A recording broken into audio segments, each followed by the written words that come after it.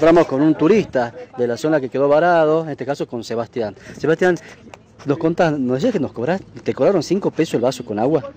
Sí, este, en, en la localidad de Pumamarca este, me cobraron un vaso de agua, 5 pesos, y la botella entera valía 100 pesos, botella de agua. Pero ellos veían la necesidad, el comerciante, y te decía igual te cobraban.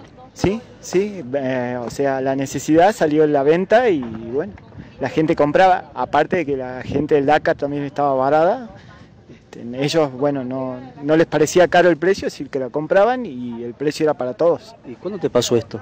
Eh, el día de la luz, ayer. Y esta gente que te vendía que, el, el, agua, que era 5 pesos como nos decías, ¿es gente del lugar, de Purmamarca, o son gente foránea al lugar?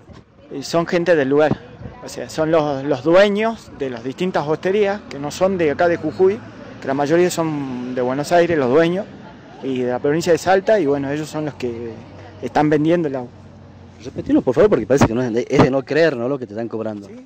Es 100 pesos valía la botella de agua, 5 pesos el vasito con agua y valía 3 mil pesos para dormir en un hospedaje o hotel de la ciudad de Pumamarca.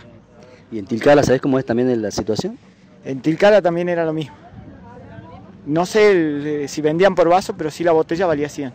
¿Y, ¿Y, la gente está colapsada? ¿La gente necesitaba agua, lugares para descansar allá en Pumamarca, en Tilcara? Sí, como te digo, es mucha la gente que está del otro lado, que se quedó con vehículo por el turismo, por el Dakar, ya fuera por lo que fuere, y bueno, queriendo volver a, a la provincia. No había combustible porque el combustible era para el Dakar y la poca mercadería que quedaba en el surtidor y en los distintos negocios de Tilcara, este, la mercadería valía cara.